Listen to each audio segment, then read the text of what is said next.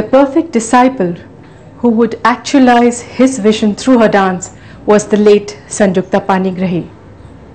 It was her mother who saw Guruji perform at the Annapurna theatre and brought him home to teach her little daughter. Thus began the journey of Guru and Shishya and with it the style of Odissi. Through her performances, Guruji would blaze a trail throughout the world, firmly establishing Odissi in the firmament of dance. Sanju Appa's remarkable stage presence and total command was really amazing.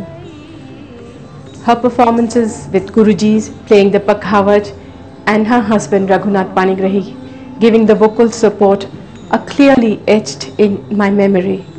The binding between them was not merely that of the creator and the created, but that which made Sanjukta Panigrahi the very embodiment of Guru Kelucharan Mohapatra's style.